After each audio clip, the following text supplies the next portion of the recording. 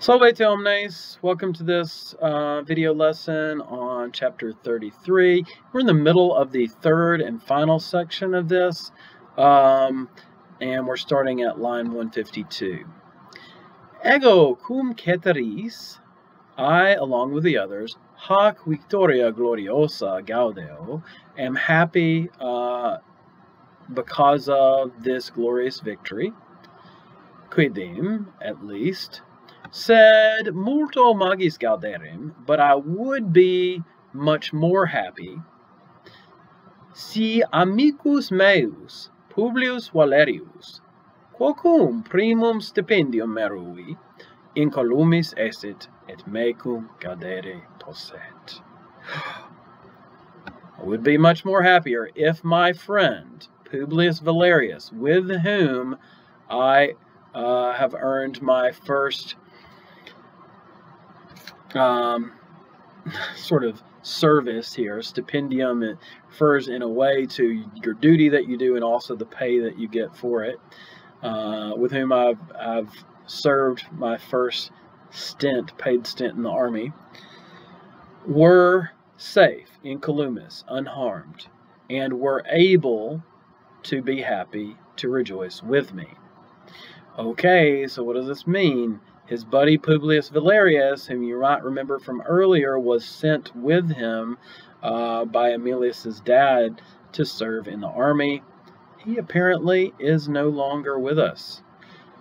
Qui cum mihi in hostes progresso auxilium fere velit, who, when he wanted to bring help, fere auxilium, to me, having advanced into the enemy, so the mihi is dative and progresso agrees with that.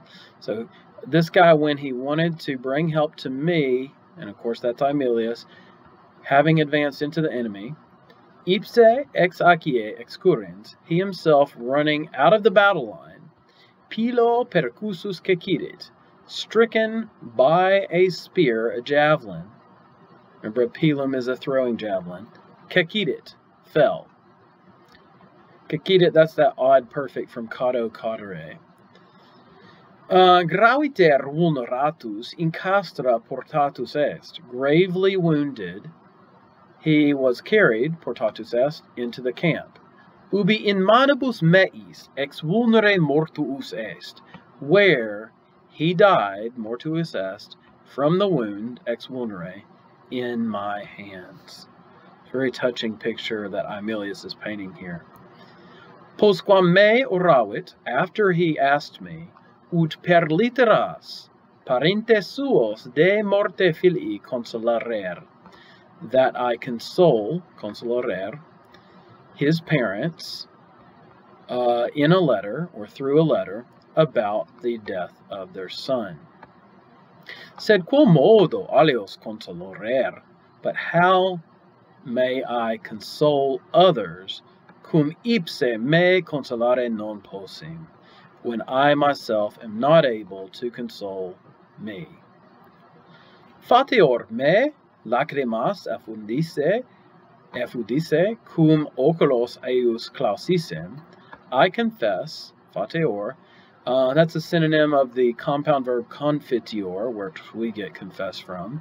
I confess, I admit, that I poured out effudisse, perfect infinitive, that I poured out tears when I had closed his eyes. Here's another of these new pluperfect subjunctives.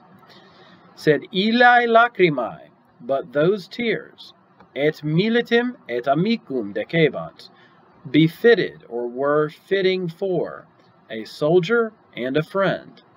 So, Romans, in such a context as this, he's saying, you know, this is a decent and honorable thing to do. It's not bad to cry. I mean, Romans are supposed to be tough, Roman guys especially, but it's not bad to cry if you're a soldier and a friend who has lost your buddy at arms, right? Etenim malus amicus fuissem, and indeed I would have been a bad friend. Here's another pluperfect subjunctive, fuissem, I would have been. Nisi lacrimas effudissem, unless I had poured out tears, or if I hadn't poured out tears, super corpus amici mortui, on top of the body of my dead friend. Okay, so it would have been inappropriate if he didn't cry, he's saying. Cum ille sanguinem suum pro me effudisset. When or since he, that one, and this is Valerius here, had poured out his own blood for me. So we're making a little bit of a word play on the effudissim, lacrimas have poured out tears versus effudisset had poured out and then the sanguinem blood. Okay, so if he poured out blood for me, then I got to pour out tears for him. It's a little bit of a rhetorical ploy there.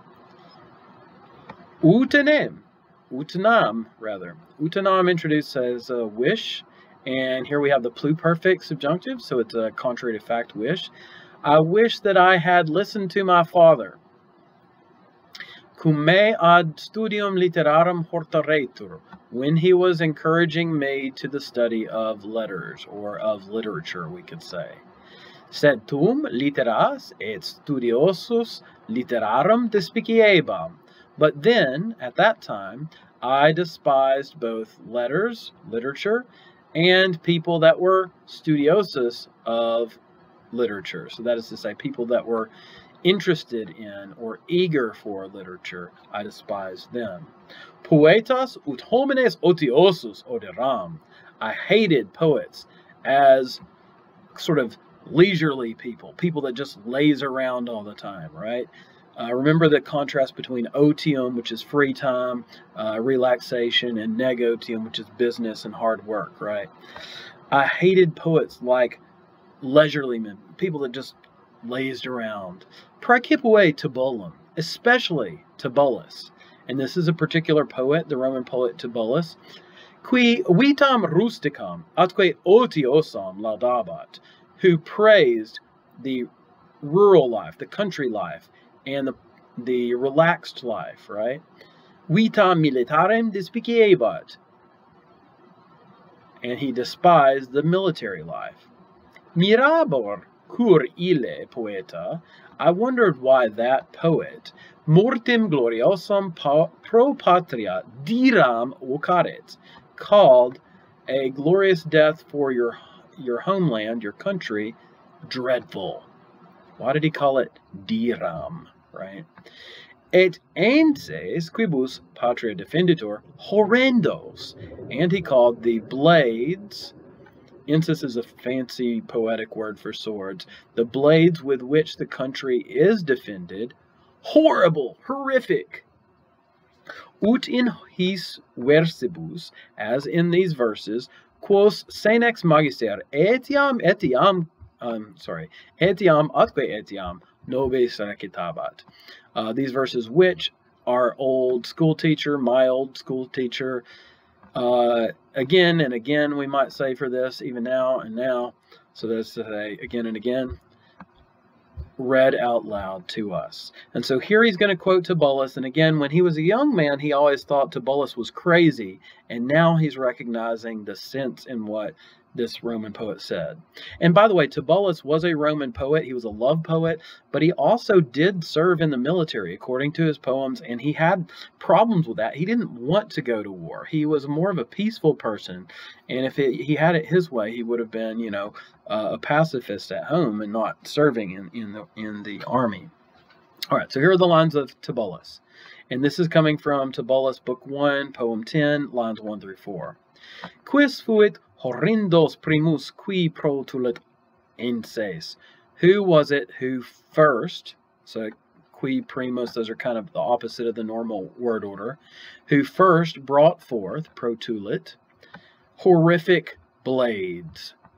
Quam ferus et vere ferreus ille fuit. How wild, okay, and truly iron that guy was. Now, ferus means wild in the sense of a wild animal, like feral in English, and ferreus means made of iron, as in the English adjective ferrous. So he's making a play on words here, ferus et vere ferreus, right? So the sound play and kind of a pun here. In English, I guess we could say how feral and how truly ferrous that guy was, right? To sort of get that uh, across, although those words are a little bit fancier in English than ferus and ferreus are in Latin. Okay, so who invented swords, right? that guy was an awful guy. Tum caides hominum uh, generi, tum proilia nata. Then the slaughter of people, um, uh, then slaughter rather to the race or for the race of people. Let's do it that way. Generi is a dative. Then slaughter for the race of people. Then battles nata. And we have to understand like sunt, were born. So then slaughter was born for the race of people. Then battles were born again for the race of people. So in other words, whoever invented swords, whoever first did that, he invented slaughter of people and battles and all this badness. Tum brevior dira mortis aperta via est, or aperta viast, uh, as they would pronounce it. Then a shorter way was opened. We would probably say for, but it's literally genitive, for dreadful death. Uh, so then a shorter way, we could also say then a shorter way of dreadful death was opened up. Okay? So the point of Tibullus' lines is I can't believe, I mean, this whoever it was that invented swords brought them forth for the first time. He was an awful guy. He was he was wild and truly like he was made of iron himself, so hard hearted he was, right? Because he brought about slaughters and battles and dreadful ways of quick death and all of this that we don't want, right? All right, ridiculi mihi porro videbant ii versus. Ridiculous those verses seemed to me as a boy. Cum nondum caedem vidissem, when I hadn't yet seen slaughter. At hodie, but today, Tibullum verum dixiste intelligo, I understand that Tibullus spoke the truth. Si iam tum hoc intellexissem, if now at that at this point I have understood this, certe patrem, I'm sorry, I would have understood this, right? This is a pluperfect subjunctive again. Let's get that right for the tense. If uh, now at that point I had understood this, there we go. All right. Certainly I would have listened to my father. Okay, so he's talking about contrary to fact in the past. If now, right then, uh, at, I had understood this, then I certainly would have listened to my father. Nec ad bellum profectus essem, nor would I have set out for war. Ut tot caedes et tot vulnera viderem, in order that, okay, and this is, um, I would say, a purpose clause, in order that I might see so many slaughters and so many wounds. Or you could also just take it as a result clause, um, with a result that I saw so many slaughters and so many wounds. At iam de caede scripsi, but now I have written enough satis about slaughter. Nolo te fatigare narrando de bello cruento. I don't want to tire you, to wear you out, remember we get fatigue from this, by telling about bloody war. Uh, the adjective cruentus, remember, comes from cruor, which is about gore or blood, like congealed blood, nasty blood. Not nice blood inside you, sanguis. Okay, I don't want to tire you by telling about bloody war. Cum brevi pacem fore speremus, when we expect or we hope that there will be Fore is short for futurum esse, a peace in a short time, brevi. Nisi ea spes me fallit, unless that hope fails me, that is to say, unless I'm wrong about there being a peace coming, post hoc plures epistolas a me expectato.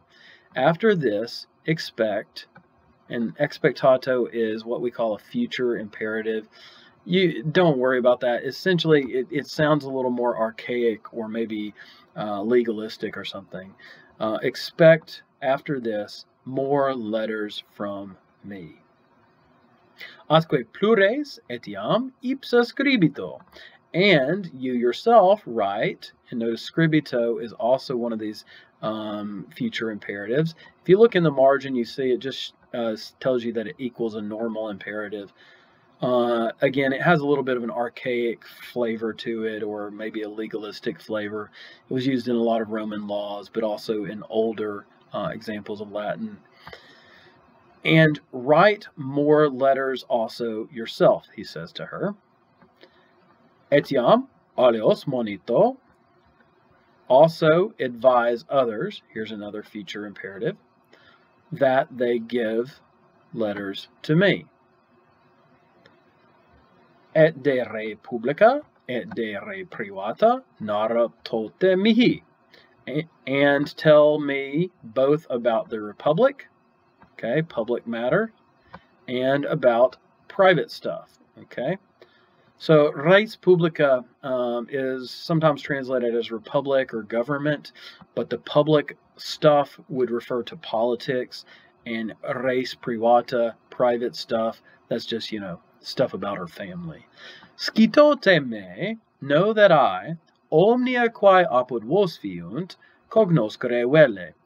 Know that I want, velle, to know, to learn, all the things, omnia, which are happening with you or near you.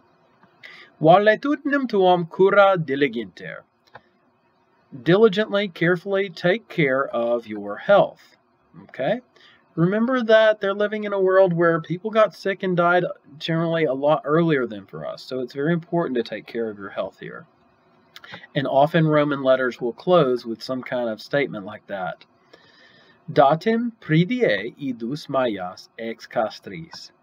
Now this is kind of like the postscript for a Latin letter, and literally it's it has been given, so we're sort of understanding an est here, it has been given the day before the Ides of May, in March, July, October, May, the nones fell on the seventh day. So May is one of the special months that has the Ides on the 15th and the nones on the um, 7th, right? So the day before the Ides of May, if the Ides of May are the 15th of May, that means this is on the 14th of May. Um, yes, here it says Dies. Dun, dun, dun it tells us that the Ides of May is the 15th day of the month of May, right, in the margin there. Okay, so given on the day before the Ides of May, in other words, on May 14th, from the camp. Now, why does it say given? Well, it was given to the messenger, right? Um, and so he's just saying what day this was sent so that she knows if she get receives it 10 days, 20 days later, however much later, um, that she'll know how long it's been. All right. Walete omnes. Hope you learned a few things in this lesson.